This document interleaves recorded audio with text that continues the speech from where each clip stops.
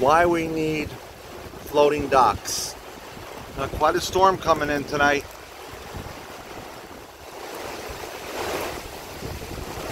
Woo, look at that. Absolutely nuts.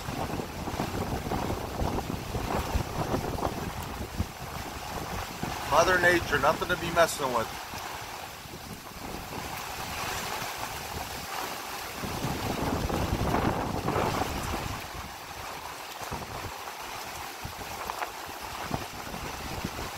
Boats need to really be tied down well for this. Docks are all covering with water. Let me see what we're looking like.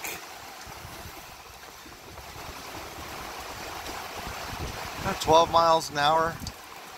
It's the winds though are really kicking up. 18. So we're probably around 18, 15 to 20 knots. Absolutely.